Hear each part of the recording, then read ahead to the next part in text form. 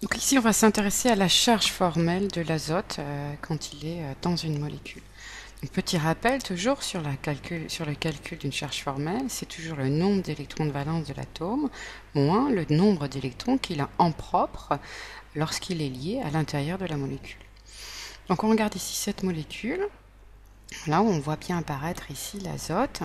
Et puis, euh, on se rappelle que sur chacune des liaisons, on a deux électrons et que le doublet non liant aussi porte deux électrons. Pour calculer la charge formelle ici de l'azote, j'ai donc d'abord son électron de valence et je sais que le nombre d'électrons de valence pour l'azote c'est 5 parce que l'azote appartient à la cinquième colonne de la classification périodique, cinquième période, donc il a 5 électrons de valence auxquels je vais retirer l'ensemble des électrons qu'il a en propre dans cette molécule en considérant que pour chaque liaison, les électrons se répartissent équitablement entre le des atomes qui forment la liaison, et puis l'atome d'azote prend en propre les deux électrons du doublet non liant qu'il a ici.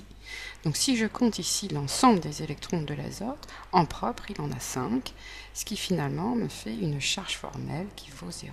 Donc dès que l'on aura ce genre de euh, molécules, ce genre de représentation que je remets ici par exemple, eh bien je sais qu'on a une charge formelle nulle. Donc le motif que l'on a, ça va être quand on a un atome d'azote qui est entouré de trois liaisons et un doublet non liant. Donc NL pour non liant. Donc trois liaisons un doublet non liant autour de l'atome d'azote est équivalent à une charge nulle. Donc si jamais j'ai cette représentation ici, où on omet, comme souvent, l'écriture des doublets non liants, si j'ai cette molécule, même si je n'ai pas ici euh, de doublet non liant représenté, sachant que là, l'atome d'azote n'a pas de charge formelle qui lui est portée, il a une charge formelle nulle, je sais implicitement qu'il porte un doublet non liant. Donc deux exemples de molécules où on a en effet l'azote avec une charge nulle. Et eh bien la première ici, l'atome d'azote, qui porte bien ces trois liaisons. Il n'a pas de charge formelle, sa charge formelle est nulle, donc implicitement, implicitement, il porte un doublet non liant. Et de la même façon, sur l'autre molécule, il y a trois liaisons, une charge formelle nulle, aucune charge formelle n'est portée ici sur l'atome d'azote, donc il y a en plus un doublet non liant. Un autre exemple, si on a ce genre de molécules.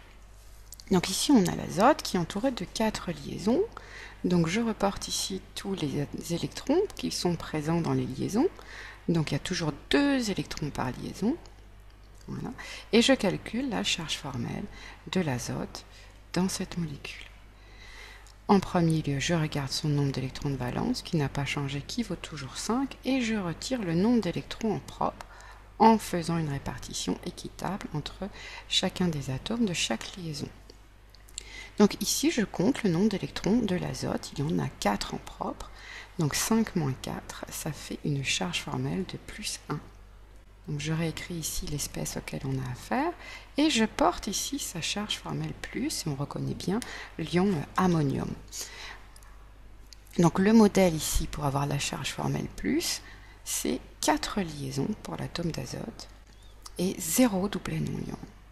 Donc lorsqu'on a 4 liaisons et pas de doublet non liant, on sait qu'il y a une charge plus.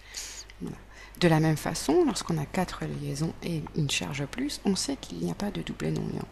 Donc on peut représenter deux exemples hein, où on peut avoir ce genre de représentation ici. Voilà, par exemple, euh, l'atome d'azote entouré de 4 euh, groupement CH3, hein, implicitement, formule topologique, au bout d'un segment, j'ai un carbone qui porte ces trois H, donc 4 CH3. J'ai ici 4 liaisons, 0 doublet non liant, une charge plus. Je peux avoir aussi ce modèle ici, donc l'azote, avec 4 liaisons que je représente ici, et une charge plus. Voilà. 4 liaisons, 1, 2, 3, 4, une charge plus, donc pas de doublet non liant. Troisième et dernier exemple de charge formelle pour l'azote, c'est quand on a ce genre de motif ici.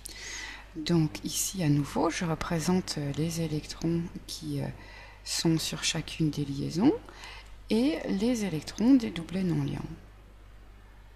Pour calculer la charge formelle de l'azote dans cette molécule, eh bien je regarde toujours son nombre d'électrons de valence qui vaut 5, auquel je retire le nombre d'électrons en propre de la molécule. Donc avec une répartition équitable des électrons dans les liaisons, je compte le nombre total d'électrons d'azote et j'en compte 6. 1, 2, 3, 4, 5, 6. Donc j'ai 5 moins 6, ce qui fait une charge formelle ici pour l'azote de moins 1. Donc je réécris ici l'espèce auquel on a affaire, qui est celle-ci, avec les deux doublés non liants, et on porte la charge moins. Donc ici le modèle, pour avoir cet azote avec la charge moins, comme précédemment, hein, on va pouvoir préciser que dans ce cas-là, on a deux liaisons et deux doublés non liants. Donc lorsqu'on a deux liaisons, une charge formelle moins, on a deux doublés non liants. Et vice-versa, si on a deux liaisons et deux doublés non liants pour l'azote, on a une charge formelle moins.